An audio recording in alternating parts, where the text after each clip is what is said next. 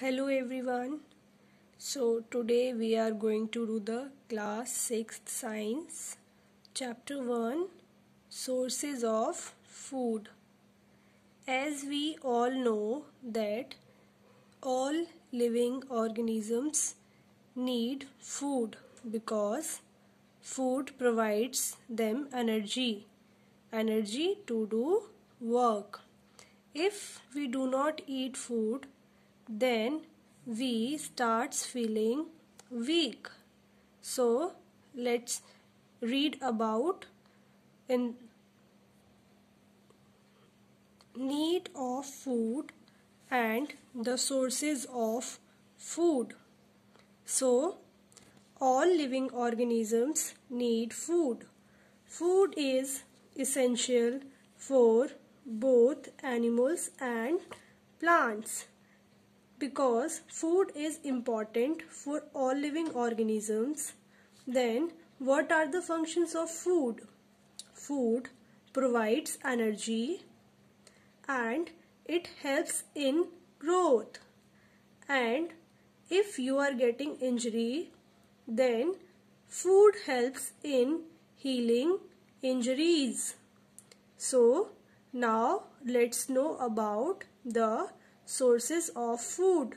Sources of food means from where do you get your food? We get food from both plants and animals.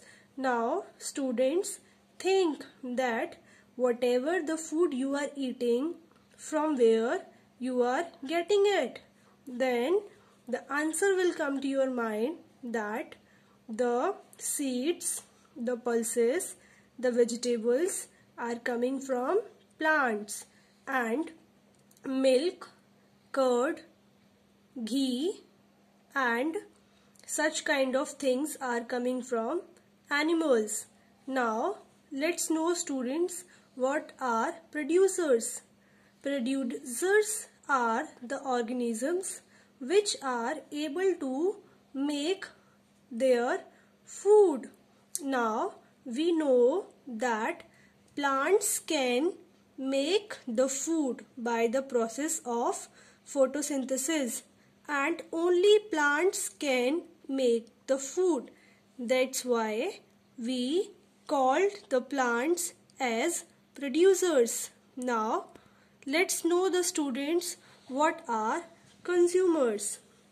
Consumers are the organisms which are unable to make their own food and obtain food from plants and other sources.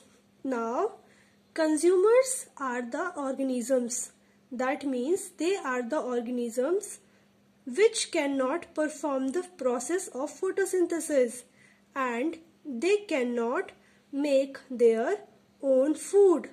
Instead of that, they depends upon on plants or producers for their food. Examples animals and some non-green plants. Food from plants.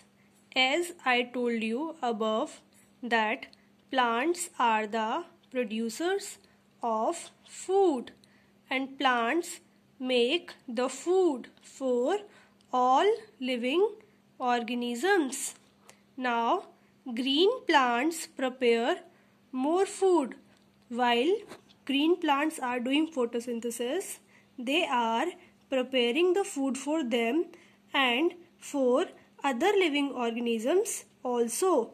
And the extra food that is prepared during the process of photosynthesis which the plants are not using and which is extra that food is getting stored in different parts of the plants.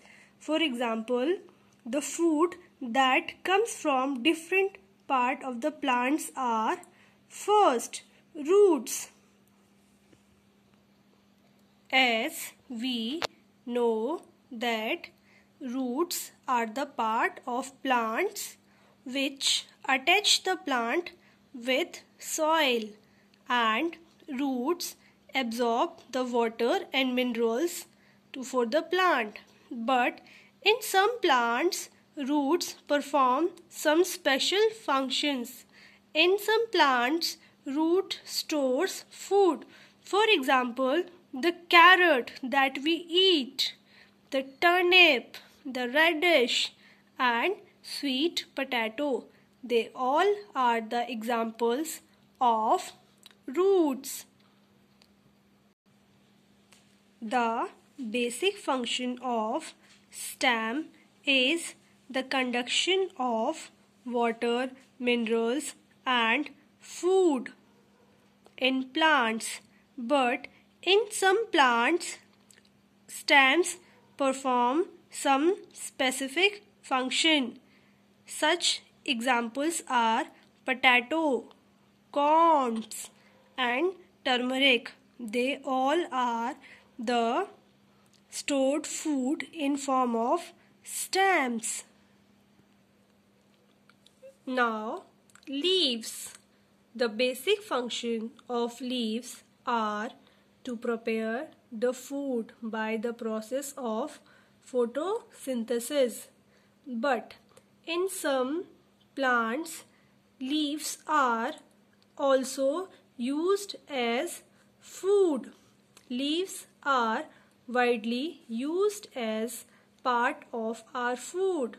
For example, cabbage, spinach, fenugreek, mustard leaves.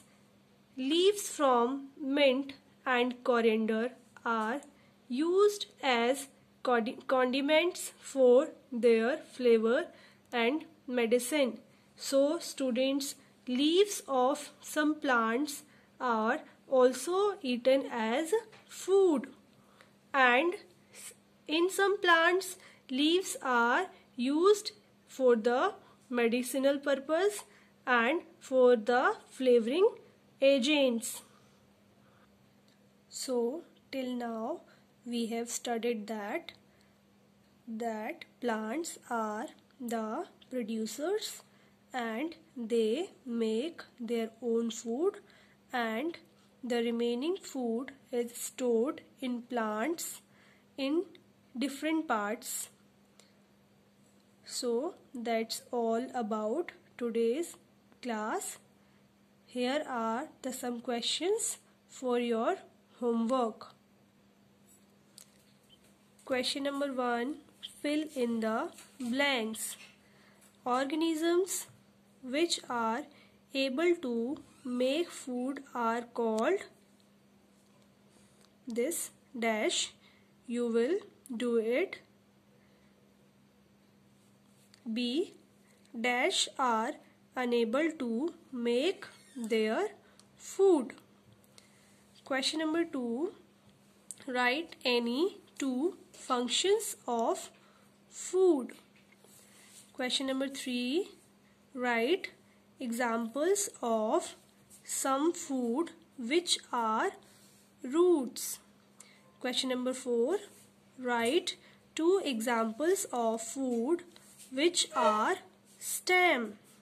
So students, that's all about today's class. Now, we will meet very soon in next class. Till you all of you take care